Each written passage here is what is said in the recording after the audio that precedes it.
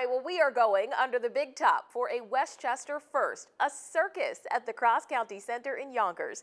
News 12's Veronica Jean Seltzer will tell you what makes this circus so special.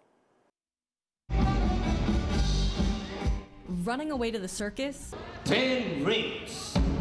Isn't as romantic as it sounds when it means you may never see your family again. It was a really hard time for me. Anastasia Savich is one of four Ukrainian women who left their homes and families in the midst of war to perform across the U.S. for Flip Circus. When I was uh, on train station, it was so hard to me to say goodbye to my parents because I don't, I'm not sure if I see them or not. She's just 20 years old, from Kiev.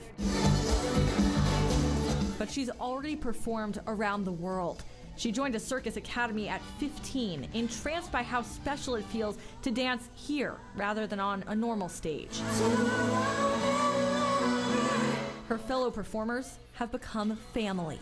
They say these girls were almost constantly in tears when they first met. It's very hard for them, and uh, we try to, to be close to them, support. Brothers Ronnie and Steve Bello know what it's like to leave family behind in Italy.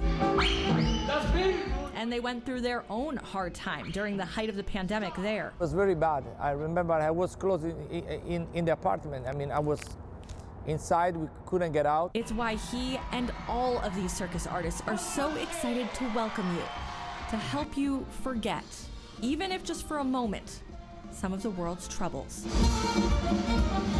We, we need to carry on, and people, they, they want to have a live show.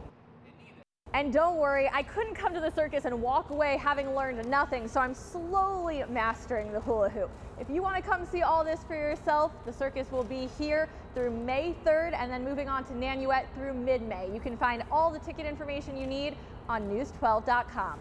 Running away to the circus, Veronica Jean Seltzer, News 12. All right, you're getting good out there, VJ. Thank you so much. Well, after its time in Westchester, the circus will move to the shops at Nanuet through May 16th.